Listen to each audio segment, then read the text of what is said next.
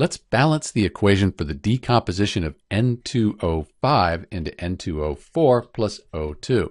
So we have dinitrogen pentoxide. It's decomposing into dinitrogen tetroxide in this oxygen gas here. Since it's decomposing, it's one thing is breaking apart into two, this is called a decomposition reaction.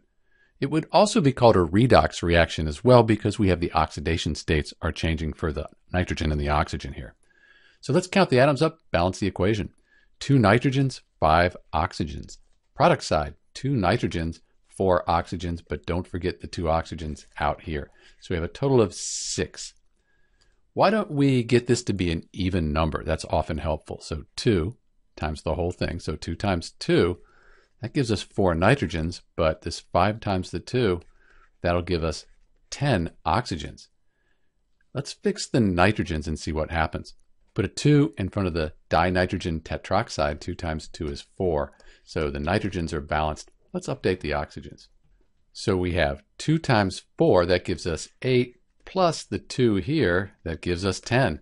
We're done. This equation is balanced.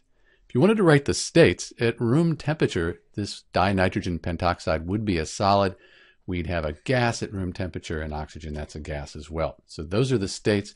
And both of these are very interesting compounds. I'll put links in the description if you'd like to learn more about each of these compounds here. This is Dr. B with the balanced equation for N2O5 decomposing. Thanks for watching.